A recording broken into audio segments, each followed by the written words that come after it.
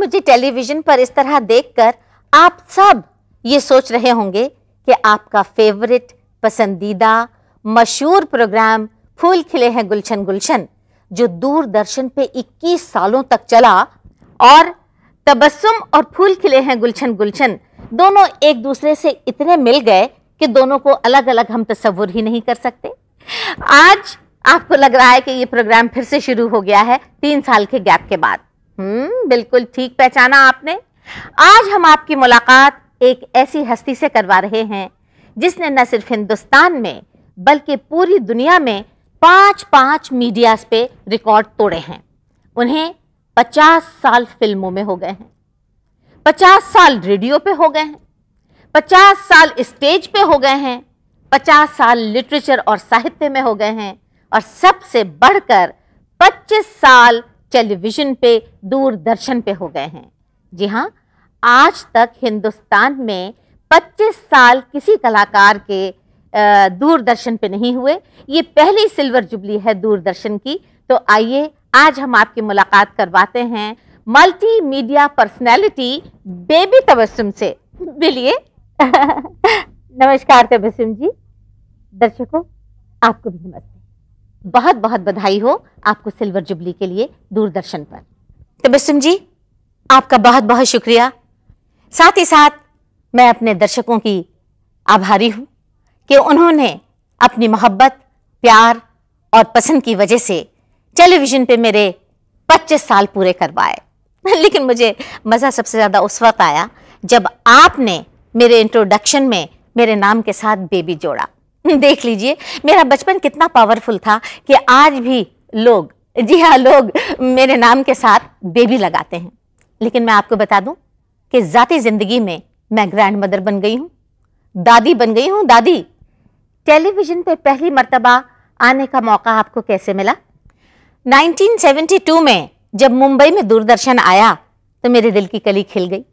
और मैंने सोचा कि फ़िल्मों में तो इतना मैंने काम किया है रेडियो पे भी किया, सब जगह किया। अब टेलीविज़न पे अपने आप को हम क्यों ना देखें? देखिए, भगवान इतना मेहरबान है मुझ पर कि जिस दिन मेरे दिल में ये ख्याल आया, उसी दिन शाम को टेलीविज़न की तरफ़ से याकूब सईद और टीपी जैन हमारे घर आए और कहने लगे, तबस्सुम जी, आपको जान के खुशी होगी कि मुंबई में दूरदर्शन शुरू हो रहा है दो अक्टूबर से और हमारे डायरेक्टर ने आपको बुलाया है। मैं तो बस इतनी खुश हुई कि न पूछिए। मैं जब यहाँ आके डायरेक्टर से मिली तो उस वक्त हमारे डायरेक्टर थे मिस्टर मूर्ति।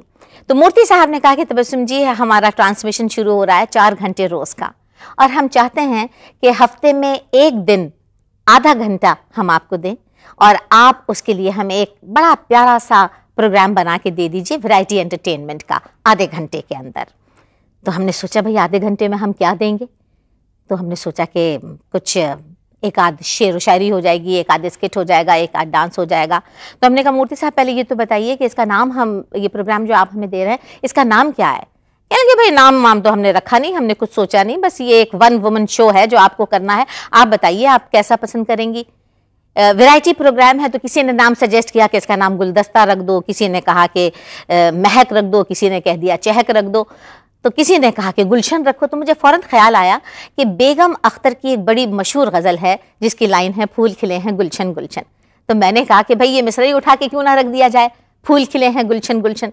तो सारे लोग खुश हो गए और ये नाम पड़ गया। और मुझे बड़ी खुशी है मैडम तबस्सुम कि मेरा दिया हुआ ये नाम आज तक लोगों की ज़बान पर है और मेरा प्रोग्राम याद किया जा रहा है। हाँ साथ ही साथ आ, हमें जब टेलीविज़न की तरफ़ से बुलावा आया तो हम बहुत खुश हो गए। क्योंकि हमने ये सोचा कि अब्रॉड में तो फ़िल्म स्टारों से ज़्यादा टेलीविज़न वालों को पैसे मिलते हैं। तो अब तो शोहरत भी मिलेगी, दौलत भी मिलेगी और हम जब यहाँ आए तो हम सुन के ठंडे हो गए।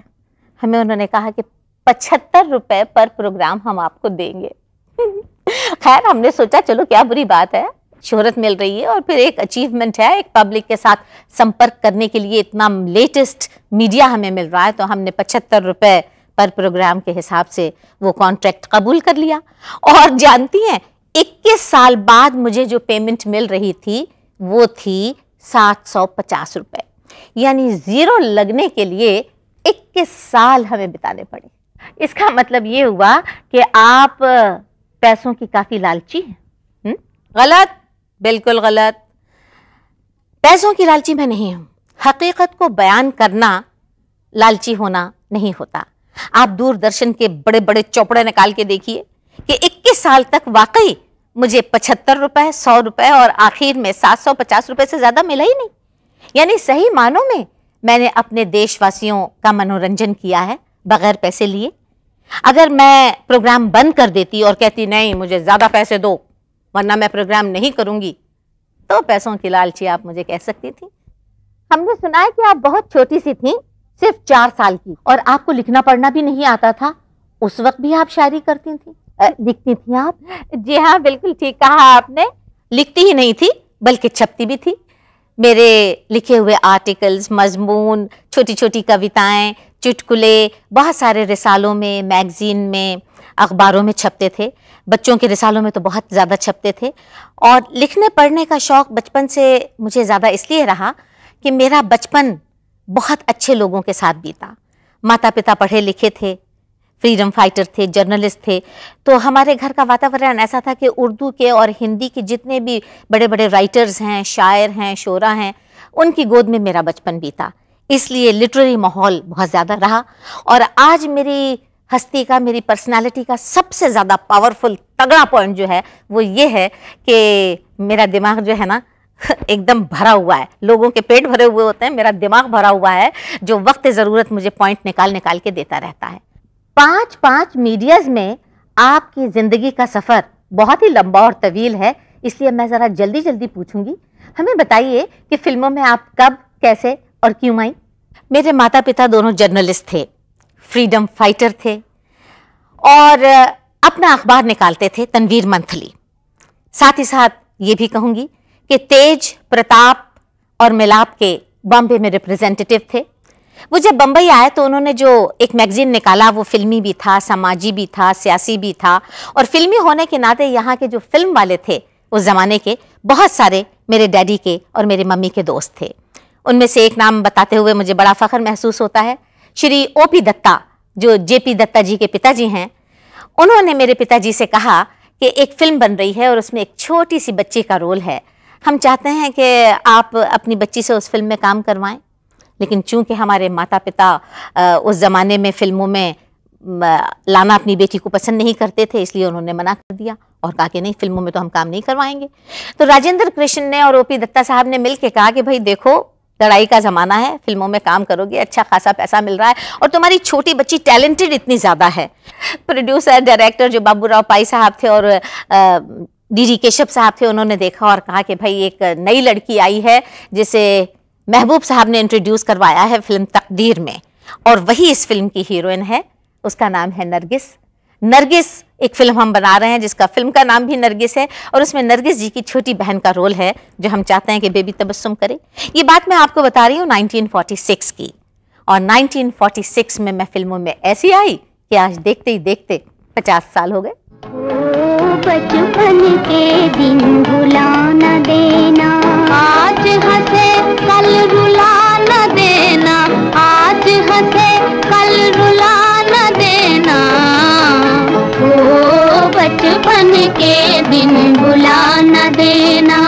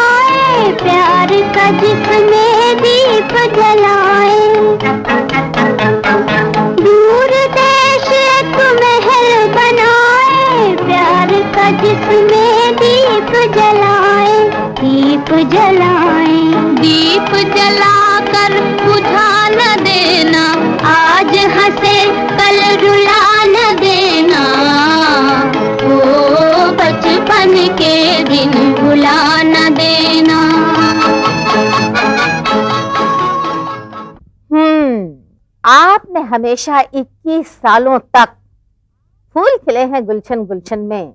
अपने मेहमानों की खूब खिंचाई की, खूब खिंचाई की। बिल्कुल गलत। खिंचाई तो आजकल हो रही है। मैं तो जब भी बोली, जितना भी बोली, शाल में लपेट लपेट के की हैं। ये बिल्कुल वैसी बात हो गई कि माँ को अपनी माँ ना कहा जाए कि ये मेरी माँ है। माँ को माँ ना कहा जाए, बल्कि ये कहा जाए, मेरे बाप की बीवी है। तो ये अंदाज आजकल के लोगों का है कि ये मेरे बाप की बीवी है। और माँ, ये मेरी माँ है। ये मेरा अंदाज था। बात, व्यक्ति पर्सन वही रहता है, लेकिन लफ्ज बदल जाते हैं। मैंने भी लोगों से ये सवाल किया है कि बहुत मस्का मारते हो, बहुत चम्मचगिरी करते हो, बहुत जूतियाँ चाटते हो, लेकिन उसका अंदाज ऐसा होता था कि हमने सुना है कि आप खाने पीने के बहुत शौकीन हैं। और ख़ास तौर पे मक्खन। बटर आपको बहुत अच्छा लगता है। खाना भी और लगाना भी। तो तबस्सुम जी, बात एक ही है, लेकिन अंदाज बदल जाता है। तो मेरा अंदाज जो था खिंचाई का, उसमें लोगों की इंसल्ट नहीं होती थी। आज लोगों की इंसल्ट होती है। और इसका सबसे बड़ा सबूत तो यह है कि खिंचाई मैंने ज़्यादा भयानक तरीके से नहीं की, क्योंकि वो प्रोग्राम फूल खिले हैं, गुलशन गुलशन 21 सालों तक चला। मुझे आप बताइए कौन सा ऐसा एक्टर है कौन से अदाकार हैं राइटर हैं डायरेक्टर हैं प्रोड्यूसर हैं जो पब्लिसिटी के मोहताज हैं जिनको अच्छा लगा? अरे भाई उनको अगर बुला लग रहा होता और मैं खिंचाई कर रही होती तो इक्कीस साल ये प्रोग्राम चलता ही क्यों? अच्छा एक बात तो बताइए आपने वो सारे गुण हैं खूबियाँ हैं जो एक टॉप की हीरोइन में होनी चाहिए। हम्म। और वो मकाम आपको मिल भी चुका है। लेकिन एक चीज़ की कमी लोगों को महसूस होती है कि आपने डांस नहीं सीखा। क्या है तबस्सुम जी मुझे डांस आ, मतलब नाचना अच्छा नहीं लगता नचाना अच्छा लगता है। बाबू को? देखिए ना आप मूड क्यों खराब करते हैं? तो चलिए हालाँकि मैं कोशिश की एक दो पिक्चर में ऐसा नहीं किया मैंने ट्राई नहीं किया है हम्म। पर आ, मुझे जरा सी पता नहीं शर्म आती थी बहुत। हम्म। और मुझे ऐसा फ़िक्र होता था कि हम्म, ये जो मेरी ड्राइवर है शोफर वो खड़ा होकर मुझे देख रहा है कि मैं कैसा कमर हिला रहा हूँ। ये जो लाइट बॉय है वो भी मुझे देख रहा है। और मेरे मेकअप मैन देख रहा है और इनके सामने मैं ऐसा रुआब से जाती हूँ और ऐसा करती हूँ और आँखें नीचे करके उन लोग बात करते और उन लोग चार रुपया पाँच रुपया में मुझे ये ऐसी झलक और ऐसे नखरे सब देख लेते। तो कुछ अजीब सा ब्रेन में होता था तभी। हम्म। तो इसीलिए मैं सही अंदाज से वो नहीं कर पाया। अच्छा चिंकी हम और हमारे दर्शक खास हम्म। तौर पे ये महसूस करते हैं महसूस क्या करते हैं देखते हैं कि तकरीबन हर फ़िल्म में आप मरते ज़रूर हैं। अब ये बताइए कि अपनी खुशी से मरते हैं अपनी मर्ज़ी से मरते हैं या प्रोड्यूसर और डायरेक्टर आपको ज़बरदस्ती मार डालते हैं? तबसुम जी इस दुनिया में कोई इंसान अपनी खुशी से नहीं मरता। अगर वो खुदकुशी कर रहा है तो अलग बात है। हाँ। आ, मौत से तो कोई भाग नहीं सकता ज़िंदगी की सबसे बड़ी हकीकत होती है मौत बिल्कुल सही लेकिन मैं इतने बार मर चुका हूँ फ़िल्मों में हम्म। कि अभी मैं तंग आ चुका हूँ मरने से हंस के मराऊ रो के मराऊ गाना गाते हुए मराऊ हम्म। कि मुझे और कोई नया सिस्टम दिखाऊ मरने का लेकिन तबसुम जी अभी इतना मर चुका हूँ इतनी फ़िल्में चल चुकी जिसमें मैं मरा हूँ हम्म। कि एक कहावत जाती है इंडस्ट्री में अगर चंकी पांडे मरा तो ये प्रोड्यूसर ज़िंदा है अगर ज़िंदा रहा तो प्रोड्यूसर मर गया। अच्छा यानी आपका मरना जो है वो पिक्चर की कामयाबी की गारंटी है। ऐसे बोलते हैं आजकल ऐसे कोई गारंटी होती नहीं लेकिन हर पिक्चर में कोशिश तो करते हैं मुझे मारने के लिए और मैं अपनी जान बचाने के लिए। प्लीज़ अच्छा। फूल खिले हैं गुलशन गुलशन 21 साल तक चला। 1972 से लेके 1993 तक। आपको सबसे अच्छा प्रोग्राम अपना कौन सा लगा और क्यों? बेस्ट प्रोग्राम मुझे कौन सा लगा? ये तो बड़ा मुश्किल है कहना, क्योंकि सैकड़ों प्रोग्राम हुए हैं, बल्कि हज़ारों हज़ार से ज़्यादा ही प्रोग्राम हुए हैं। लेकिन हाँ एक प्रोग्राम मुझे एक बहुत अच्छी तरह याद आ रहा है इसलिए कि वो बहुत ही ऑफ़ बीच प्रोग्राम था। और उसकी सबसे बड़ी खूबी और ख़ासियत ये थी कि उस प्रोग्राम ने, यानी फूल खिले हैं गुलशन गुलशन ने, एक बड़े खूबसूरत नए प्रोग्राम को जन्म दिया। हुआ ये कि मैं एक दफ़े रिकॉर्डिंग पे आ रही थी और ये उस वक्त की बात है जब हमारे दूरदर्शन के डायरेक्टर थे शास्त्री जी। मैं आ रही थी और बा, बांद्रा के सिग्नल पे गाड़ी रुकी तो एक भिकारी ने हाथ निकाला बाहर और भीख मांगी कि दस पैसा दे दो। मैंने गौर से देखा तो मेरे रोंगटे खड़े हो गए। मैं घबरा गई और मैंने देखा कि वो अपने ज़माने के बहुत ही मशहूर अदाकार परशुराम जी थे जो प्रभात में बाल कलाकार थे और उसके बाद इंडियन फ़िल्म इंडस्ट्री में आने के बाद उनको एज ए करेक्टर आर्टिस्ट और विलन वो मकाम हासिल हुआ था जो अमरीश पुरी जी को हासिल है। मैंने उन्हें अपने साथ फ़ौरन गाड़ी में बिठाया और कहा, चलिए मैं जा रही हूँ टेलीविज़न सेंटर और वहाँ आपको मैं मिलवाती हूँ। डायरेक्टर साहब से जब मिले तो उन्होंने पहचान लिया कि ये तो प्रभात के ज़माने के बहुत ही मशहूर कलाकार हैं। उन्होंने प्रभात से उनकी फ़िल्में मंगवाई और मुझसे कहा कि देखो तबस्सुम, तुम आज जो जिस कलाकार को रिकॉर्ड कर रही हो, उसको बाद में करो, पहले परशुराम जी को रिकॉर्ड करो। और मुझे अच्छी तरह याद है कि मैंने उस प्रोग्राम की शुरुआत इंट्रोडक्शन में ये कहा था कि भाई और बहनों, आज हम प्रोग्राम शुरू कर रहे हैं और मैं ये कहूँगी कि फ़िल्म जगत का एक चमकता हुआ सितारा आसमान से टूटकर बांद्रा के सिग्नल पे आ गिरा है, जिसे हम आपके सामने पेश कर रहे हैं। और उसके बाद तबसुम जी आपको जान के हैरत हुई होगी कि उस भिकारी को बांद्रा के सिग्नल पे इतनी भीख मिली कि वो देखते देखते रात भर में लखपति बन गया। मुझे अच्छी तरह याद है कि उस वक्त हमारे महाराष्ट्र के चीफ मिनिस्टर थे श्री एस बी चौहान साहब। तो उन्होंने प्राइम मिनिस्टर फंड में से निकाल के दस हज़ार रुपए परशुराम जी को दिए थे। और उसके बाद दूरदर्शन वालों ने यह फैसला किया कि इसी तरह का एक प्रोग्राम और शुरू किया जाए जो बिल्कुल अलग थलग हो।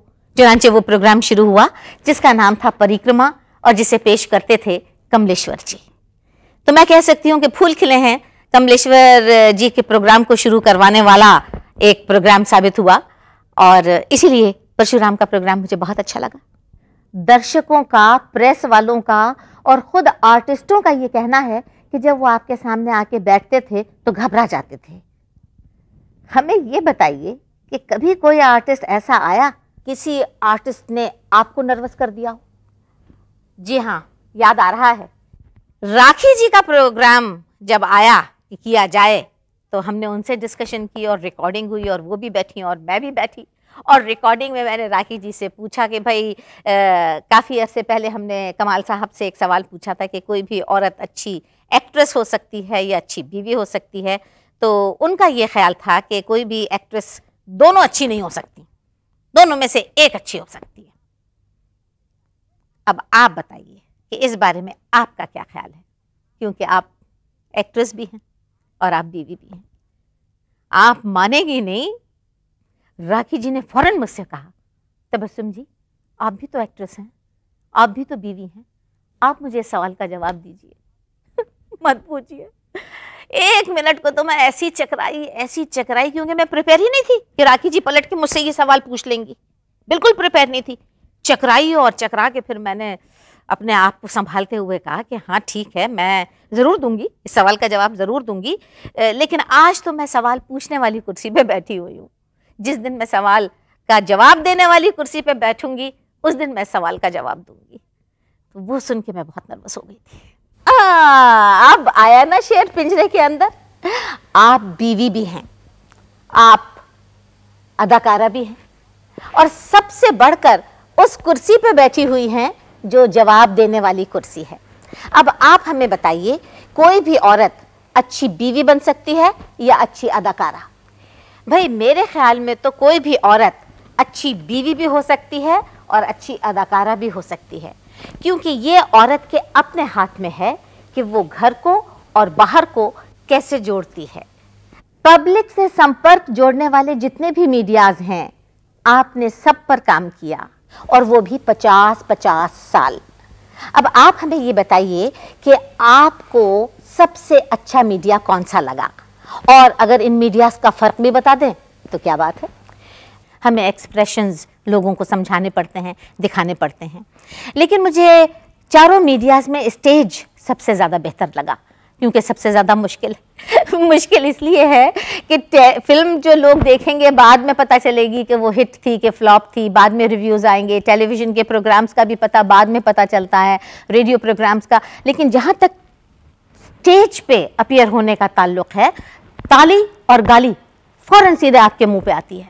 जहाँ आपने गलती की कि पब्लिक ने आपको उड़ा दिया और जहाँ आप अच्छे हैं, वहाँ तो खैर अच्छे ही हैं।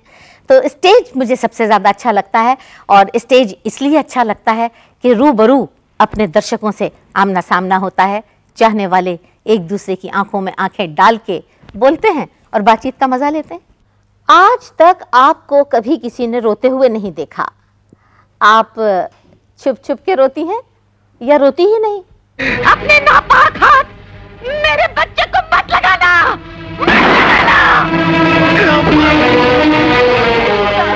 अरे मैं तुम्हें क्या किया? मैंने अपना सुहाग मिटा दिया। मैंने अपना सुहाग मिटा दिया। मैंने अपना सुहाग मिटा दिया। सुहाग औरत के माथे की शोभा होता है।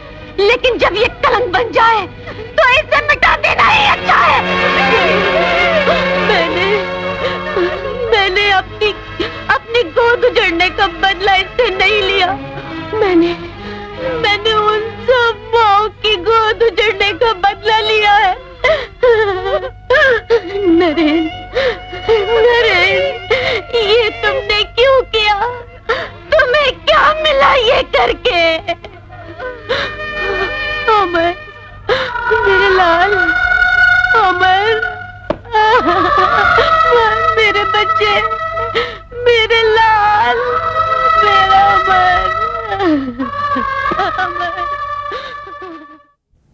कभी कोई अवार्ड रिवॉर्ड या ब्यूटी क्वीन ड्रीम गर्ल जैसा कोई टाइटल या खिताब कभी मिला?